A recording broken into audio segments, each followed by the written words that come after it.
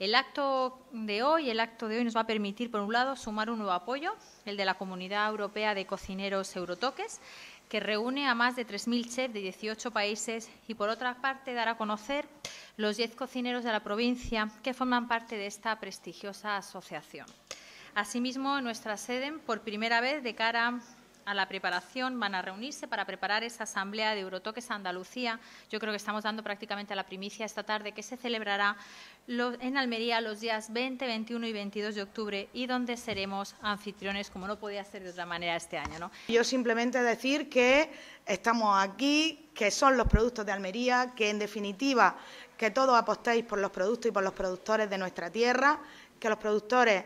lo que dan es prosperidad, dan trabajo y dan riqueza a nuestra provincia y cuando todos consumimos productos de nuestra tierra, además de hacer, pues,